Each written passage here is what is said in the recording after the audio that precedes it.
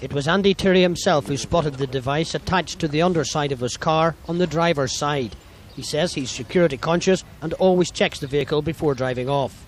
The car was parked some distance away from the Tyrie home on the Ballybean estate at Dundonald.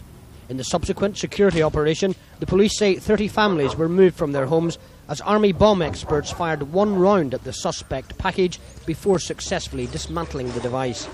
An eyewitness said the bomb was inside a plastic box, possibly in a lunchbox or ice cream container, with one wire leading to the steering at the front of the vehicle.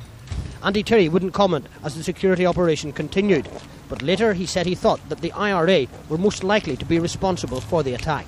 The most likely people is the provisional IRA. But in my position, I'm open to every crank and every Egypt that lives about this province who might find it be a good idea to annoy Andy Tyrie or do him in.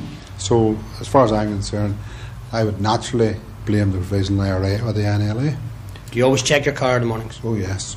Has the thought crossed your mind at all that this might be some kind of attack by uh, a faction from within your own organisation, the UDA? I, I doubt that very much. I doubt that very much. Any suggestions that, that come from any members of the UDA uh, to, to, to, say that you are under pressure and that you're uh, being asked to, to leave your position are incorrect?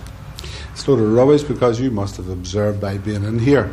But I was speaking to the members of the Council of the Ulster Defence Association because they immediately uh, got in touch with me this morning. They want to come to my home. And matter of fact, they're the ones that orchestrated the meeting today. So there's, there's no problem there, absolutely none. Following John McMichael's murder last December at the hands of the IRA, Andy Tyrie says he's cautious about personal security. Although in a statement issued later this afternoon, the IRA said that they were not involved in today's attack at Dundonald. The police said the device consisted of a detonator and one pound of what they initially described as an unknown mix. After forensic examination, the RUC confirmed that the substance was a new kind of explosives mixture. Little is known about it, except that, as one source put it, this substance hasn't ever been found in an IRA bomb.